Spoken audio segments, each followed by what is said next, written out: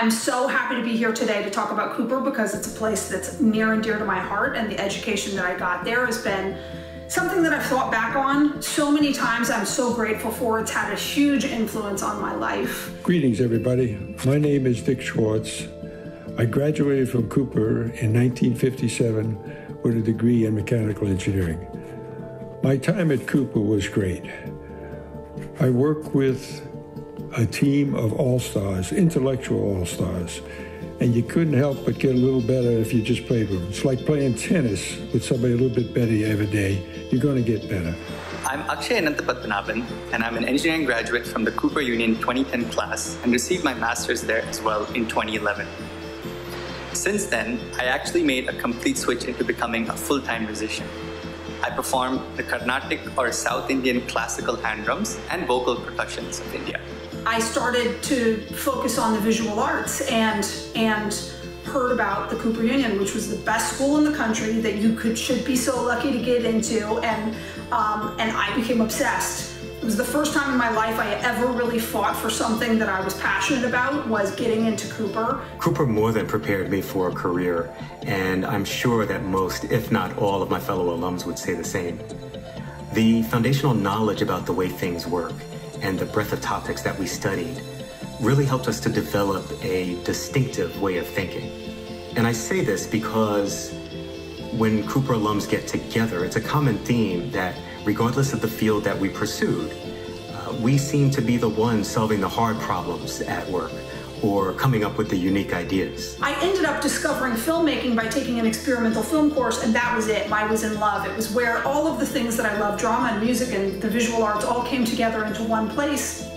And even though there was an amazing experimental film course that Bob Breer and Ross McLaren were teaching, even though it wasn't a narrative filmmaking course, it sort of didn't matter because what I learned at Cooper was how to be an artist. Once at aerospace, I worked for Rockwell. I worked on many, many programs.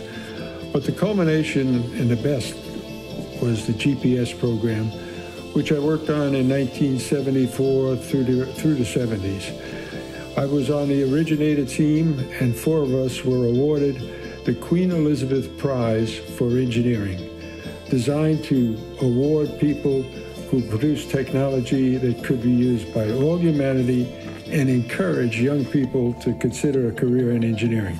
To this day, I am so thoughtful and grateful about that education because I'm around people all of the time who really didn't have an intense arts education. And I see what a difference it's made in my life, and I'm so, so happy to have come from that direction. Honestly, I strongly believe that my experiences and learnings and friends from the Cooper Union have been an integral part of my professional journey. It's all about what did Cooper provide. It provided a chance to work with some very, very smart people, all stars in my mind. It also provided some talk of teamwork. If I could put together the team, we could be successful. Cooper was tough, and we all developed resilience.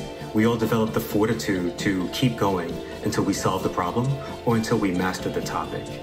And that's great for a career, and that's great for life.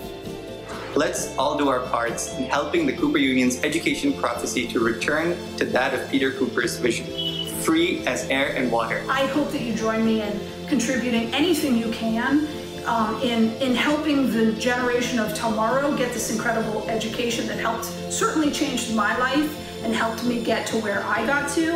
And if you feel inclined, think about chipping in a little few bucks for Cooper. They need it and can use it right now. Thank you for having me, and I can't wait to come back and always stay involved with the school in my life. Thanks.